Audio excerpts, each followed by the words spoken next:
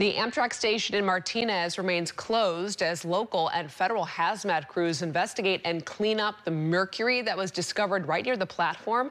KRON 4's Luke Djegal says so far there have been no reported injuries, but investigators are still trying to determine how that hazardous material got there.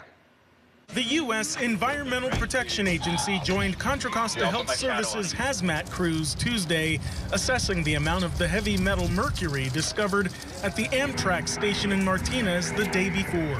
The station and parking lot have been shut down to the public ever since. We were concerned when we heard about it last night, just about the safety and well-being. The Contra Costa County Fire Protection District initially responded to reports of the spill, noting it appeared up to a pound and a half of mercury was found near the platform.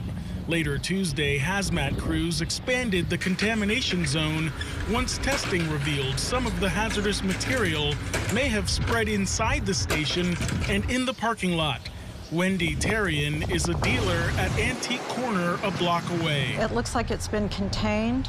So um, we're feeling a little bit better about it. The train service is unaffected at this point. Basically, all they're doing is stopping about 100 yards down the track at the old Martinez train station, which conveniently is still there.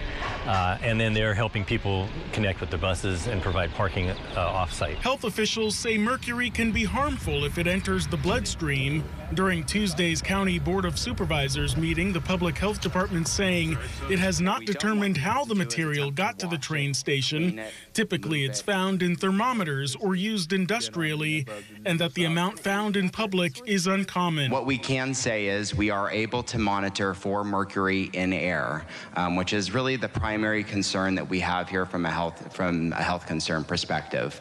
Um, and what we have found is we're 1,000 times less than it would be to be uh, considered um, immediately dangerous to life and health. So we are orders of magnitude below uh, what we would consider a health concern at the at the facility. The station remains closed during the investigation and cleanup. If you believe you or your clothing may have been exposed, the public health department says double bag your items, store them outdoors, and call the hazmat division for the next steps to take. In Martinez, Philippe Djegal, KRON 4 News.